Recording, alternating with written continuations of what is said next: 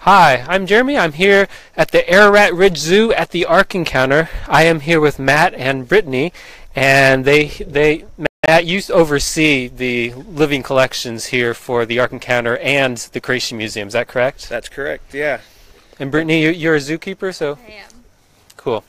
So we're here with who are we here with today? This is Zacchaeus, and he is our plain zebra or Grant zebra. He's currently the only one we have, but uh, he, when he was by himself, uh, he got a little nervous, so we introduced him to Leah over here, which is one of our our standard donkeys, and him and Leah have formed a pretty good relationship together, and um, so they actually get along very very well. They're both equine kinds, but obviously different species. So it's kind of a neat exhibit as far as the Ark Encounter goes because it shows that kinds type and the differences within the kinds uh, by having the wild zebra and the domesticated donkey Right. together.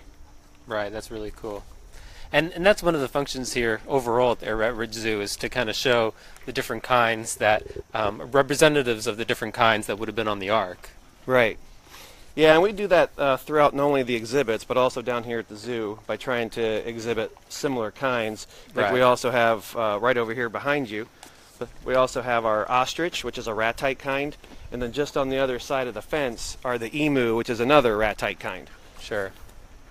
So that's one of the differences that you'll find here at the Ararat Ridge Zoo and perhaps any other zoo is here you are going to get the biblical perspective in any of the teaching that you're going to see here. And um, that, that's one of the main differences. You're not going to read about millions of years or anything of that nature. Yeah, some of the cool facts is, uh, and one of the things we've done here is zebras are, you know, they are a wild animal, so they are extremely feisty. They're they're more of a high risk species to have than say a donkey or something. So we've had our zookeepers here um, have worked extremely closely with him to get him to where he's he's workable like this. We can also now put his halter on and off, which is nice, so we don't have to leave it on him all the time. And uh, but Zacchaeus, he should live to be 30 years in a wild situation. But in a zoo, a captive environment, these guys can tend to live up to 40 years. Right. And one of the biggest questions we get are zebras white with black stripes or are they black with white stripes? What do you think? Do you have an answer for that? Oh, I think I think I'm biased because Put you on I've already heard the answer. It, it is, in fact, uh, black with white spots. Right. Or stripes, rather. Spots on some days, huh? yes, right, right. And he is only a year old, so he, he just uh, in August turned turned a year, and you can see on his back here he's still got some of his full down on him, kind of the, the baby fur. Oh, you want to So- say something? he he's not real talkative. No, I can't eat that. Well, happy birthday. That's right. So he's we're kind of we're kind of a little saddened by it because he's he's starting to look like a full fledged adult zebra, and he's losing his his full fur back there. Right. I can understand that. The other thing is too um, with the zebras, the stripe pattern is like a fingerprint. hmm So in the wild, they can actually map these guys out, even in big herds, and be able to tell them apart just because of the stripe pattern because it's different for every single animal. Right. That's cool. So what what different types of foods do they like to eat? I see they're enjoying their little snack that you're giving them right now. so they'll actually eat grasses and hay. That we they get hay here, and Zachy gets a zebra mixture that we give him. But in the wild, they'd probably snack on mainly grass. Right. So do you, do they have any like special treats that they get that they really enjoy? He really likes his carrots. Carrots. he loves his carrots. How does he do on apples?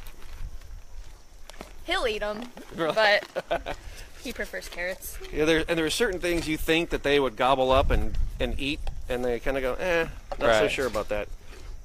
So they're particular about their food. Yes. And the zebras are, they're a they're a grazer. Most of your equines are grazers, which means they they nibble on the grass and maybe low-lying shrubs. Your browsers tend to be more the type that eat from the trees and, and larger shrubs. Right. So these guys are grazers. So it's a little more challenging sometimes in that case to, to find things that are uh, appealing to them. Mm-hmm. So if you have any questions, feel free to make a comment there, and uh, we'll answer them here today. And then also for any information about the Ark Encounter, we ha- even have some information about the Ararat Zoo on the Ark Encounter website. So go to arkencounter.com, and uh, you can get more information there, including about tickets and all that information. And don't forget, if you're interested in coming to the Ark Encounter, don't forget about the Creation Museum as well, because while we have an Ararat Ridge Zoo here, we have a petting zoo at the Creation Museum with different types of animals again and a different type of experience. So I definitely recommend that. And um, Zebra's wanting to come and say hi for us.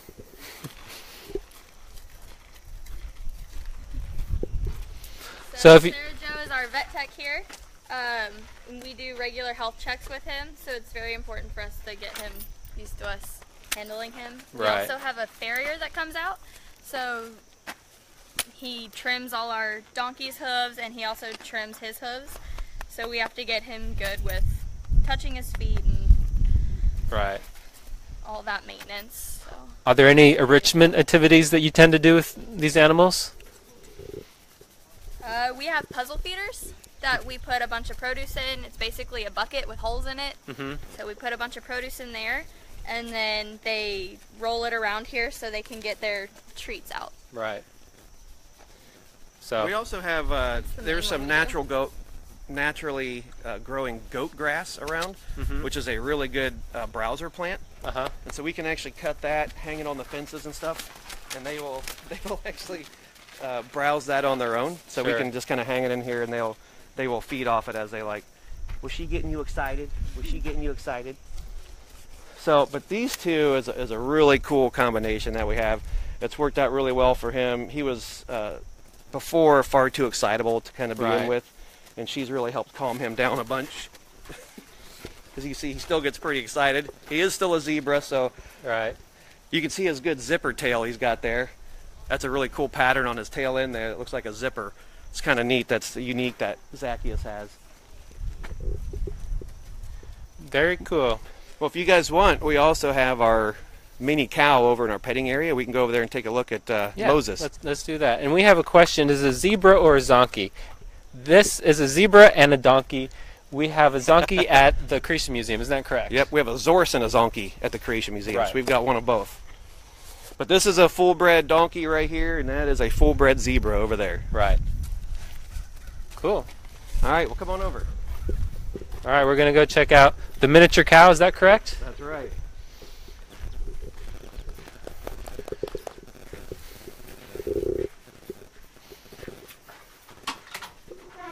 Right, we're gonna make our way here to the miniature cow. So.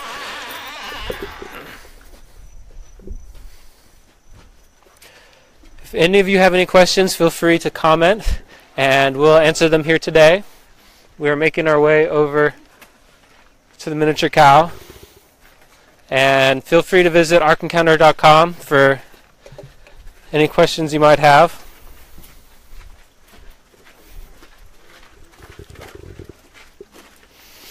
That was one kind of thing I didn't point out with Zacchaeus. I don't even notice he was smiling and mouthing a lot. Uh huh. One of the things zebras do is they, they greet and meet each other by nips and stuff. So Oh, kind of yeah. like we do a handshake, they do this little nipping thing, which is fine if you're a zebra, but it's not always pleasant if you're a keeper. Right. I think I prefer a handshake for, for me personally.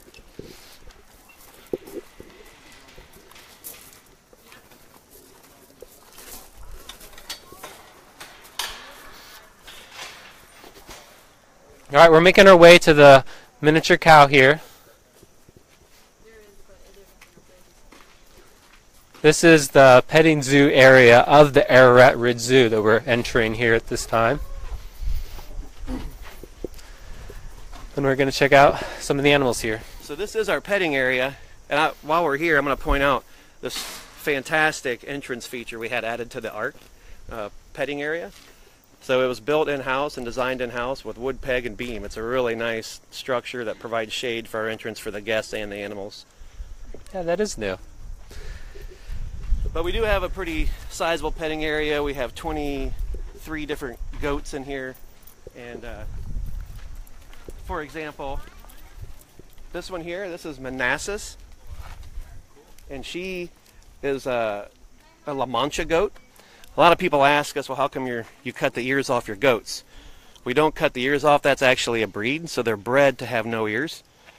And uh, we also mark ours so that all the blue collared ones are boys and purple collared ones are girls. So they're Uh-huh. color coordinated for the guests so they can see, you know, whether they have a boy or girl that they're interacting with. And their name tag is also on the collar, so it's kind of a really neat feature for the guests to be able to see the name, know if it's a boy or girl. Right. And then Asher, the all gray one over there, he's an Alpine uh, Nubian mix. The uh, real floppy eared ones are the Nubians, like uh, Zebulon over there. Oh, that's Issachar. I am sorry. This is Zebulon laying down over here. And then, as you can see, where the popular corner is right now, we're in the process of working uh, and seeing how our mini cow Moses, which we affectionately call Moses, or his name is Moses, we affectionately call him Moses, rather. I get it.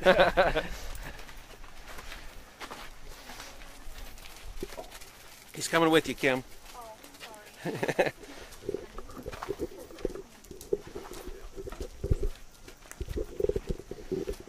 now, mini cows are becoming a little more popular right now because they have a um, they're about a third to a quarter the size of your full-size steer right. which means they take about 30% less grazing pasture. They produce about 40% less uh, manure, and uh, they still produce a really good solid beef. So now, obviously, here at the Ark petting area, we're not concerned about that, but that is why one of these guys are. That's why the mini cows are getting pretty common, Sure. a little more popular. Now they're also more highly expensive because they're specially bred to be that way. Right. Brittany, you want to tell them what the mix is for So he's actually a mix between three different miniature breeds. He's a mix between a miniature Dexter, miniature Hereford, and miniature Brahma.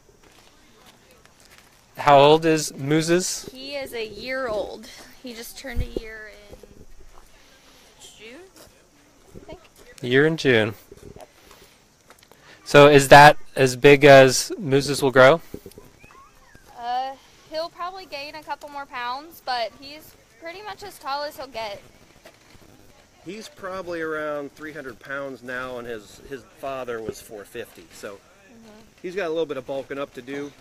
Um, but as you can see, we're working with him a lot in the petting area to keep him social, and it'd be a really cool feature to be able to keep him added into here. Right. Now, the also the mini cows, they have a lifespan of 20 plus years. So, uh, being that he's a baby, he's gonna, or still a really young cow, he's gonna be with us for a long time. Right. Very unique opportunity to come see the mini- miniature cow and get your picture taken and all that. And we also have one live exhibit on the ship on the second deck, and uh, Moses is one of our stars up there as well. He goes up and rides the elevator up to the second deck and Sure. gets involved in interacting with our guests on the second deck also. Right. And he, since he's the only cow we got, we did introduce him uh, to Ahava here. Ahava is the old came in by himself as well. So these two are good buddies, and they actually live together. They don't stay in the petting area with everybody else. Uh huh. So since Ahava came in by himself, the same time that Moses came in, we put these two together, and, and they've paired up really, really well. So they're buds. We're best friends. That's cool. So now these uh, Moses then getting back to him, he's also been dehorned. So he would normally he would normally have horns. Right. Uh, so he's been dehorned, which is also beneficial for the petting area. And uh, he's also um, working on his disposition. Kim over there is one of our keepers, Kimberly, and uh, Kimberly Hobner, and she's been working with him out here in the petting area. Mm-hmm. We have some other obstacles, so she's been kind of. We started off by bringing him out on a lead rope and kind of, kind of showing him where to walk and how to walk around and Right. not get himself into trouble. And that way too, he slowly and can gradually meet the guests. He got really excited this morning when he came out and he started running around and kind of scared the goats a little bit. Chasing all the goats Chasing around. all of them around. Oh, they loved it though. It was they did. this they is loved it. that was uh, enrichment for the goats as well. Right. Well, very cool. Well, thank you for the opportunity to see these animals here today. So, if any of you, again, have any questions related to the Ark, feel free to go to arkencounter.com. Uh, there's ticket information, more information about the Ararat Ridge Zoo there. Um, there's also information about the camel and donkey rides that you can have here. So look, uh, make sure to check that out if you're coming here. That's a very unique experience. You can ride a camel or a donkey with the ark in the background, and great uh, video or picture opportunity with that. So, and it's right now it's really nice weather, not too not too hot. So it's supposed to be pretty cool for the next few days. To figure out how to get to the apple. He loves apples. That's his favorite treat. Got a mouthful. well, guys, thanks for coming out and uh, showing off our animals for us. We really appreciate the media team here as well and all that you guys do. So, thank you so much to the Facebook Live team and media here for Answers in Genesis. We appreciate you guys as well. Thanks, Matt, Brittany, and Kimberly. Appreciate it. We'll end off here today and look forward to seeing you when you come.